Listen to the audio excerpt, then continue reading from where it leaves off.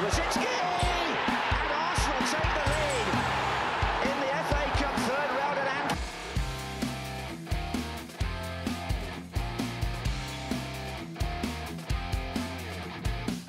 mistake by Danny Rose. Tomas Rosicky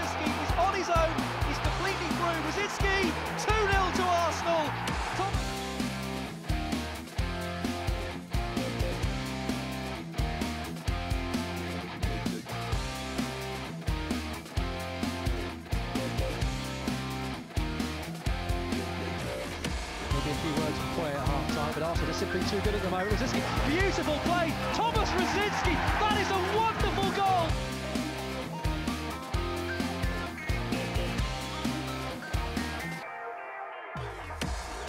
Rosicky plays it in. Oxlade Chamberlain in there again. Rosicky shoots. What a goal that is!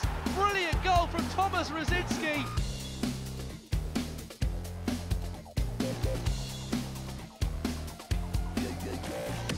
chance.